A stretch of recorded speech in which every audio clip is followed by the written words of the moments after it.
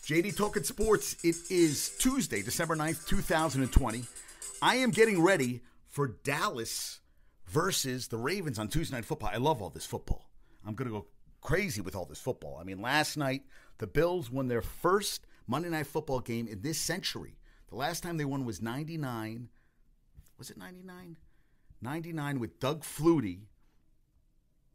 And they, they had something crazy. So the Bills have not led this late in the season the AFC East since 95 and they won their last playoff game in 95. But first last first Monday Night Football win since 99 and they haven't won one I mean that's crazy. Doug Flutie was the quarterback. Yeah, 99 with Doug Flutie. And Cole Beasley last night, Cole I love Cole Beasley.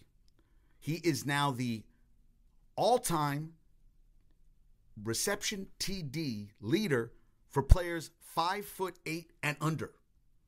Yes, five. So I told Harris that you know him and I, there's still hope for us that we can actually you know maybe do something here and make some great moment. I'm, I'm just kidding, but I thought it was pretty interesting. And he is not. He is a very slight guy. He had seven catches for 113 yards in the first half alone. He finished for nine for 130, and then you had Josh Allen who threw four touchdowns, and him and Cam Newton are the only players with 50 touchdowns passing and 20 touchdowns receiving, uh, rushing in NFL history.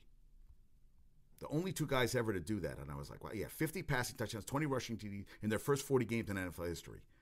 And Josh Allen also has never thrown an interception in the red zone. And he, 40 games, 53 touchdown passes, 23 rushing touchdowns. Actually, and he added that total in the game had a couple more, but that was at 9-13 early in the game, so he had added a couple more touchdowns in the game, which is crazy. He's just playing great. And now the the Bills are 9 and 3, and next Monday night they host the previously unbeaten now the 11-1 Steelers, 13th team to finish a